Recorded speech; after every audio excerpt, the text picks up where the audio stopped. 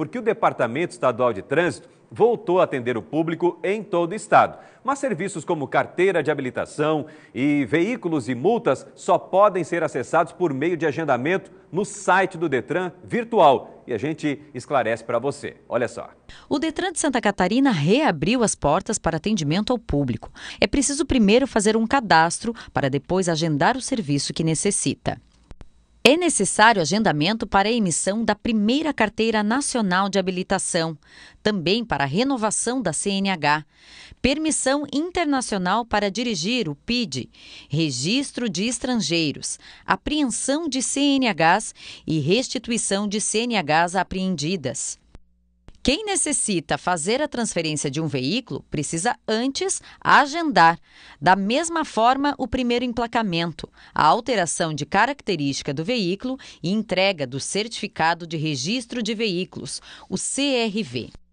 É necessário marcar hora para indicar motorista infrator e realizar recursos de multas e processos administrativos.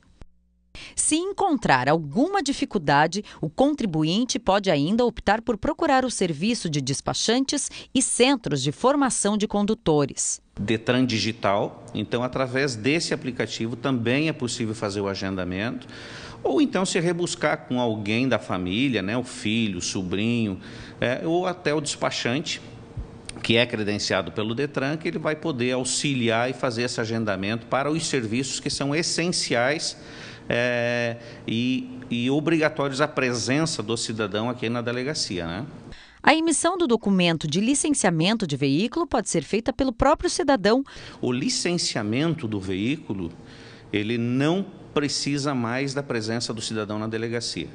É, a partir do momento que ele tem as suas as taxas pagas e PVA pago, licenciamento pago, ele vai receber é, é, através do seu e-mail ou no aplicativo digital a, confirmação desse veículo, a regularidade dele para ele circular livremente no país.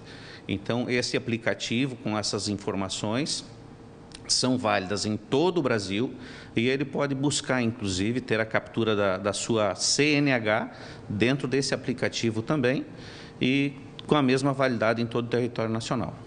Aqueles que fizerem o um agendamento devem ficar atentos às medidas de higiene, segurança e distanciamento adotadas pelo órgão para evitar aglomero de pessoas. Para a proteção dos servidores, o Detran adotou a redução no número de atendentes. Além das máscaras, equipamentos individuais de proteção, instalou proteção de vidros e disponibilizou álcool em gel em todos os guichês.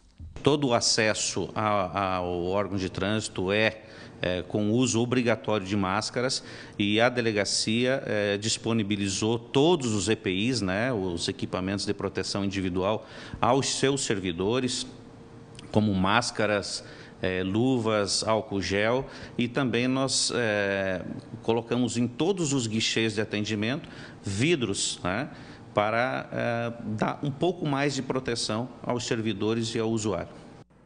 Então, essas são as orientações, né? Em Itajaí, o Detran está atendendo do meio-dia 15 às 5h45, de segunda a sexta-feira.